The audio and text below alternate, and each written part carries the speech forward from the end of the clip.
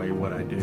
And one of the one of the neat stories that I do want to share with you is I had about a, a six-year-old patient who had a very very loose baby tooth. And when he got into the chair, the first thing he started screaming is, "You're killing me!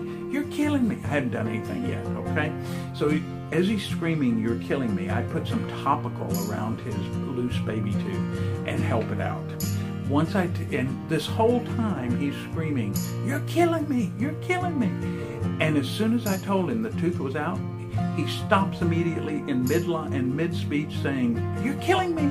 Oh, okay, thank you. I love that story. Those are the kind of stories that we love to tell, and because I always tell everybody in my office, we're not in the tooth business, we're in the memory business.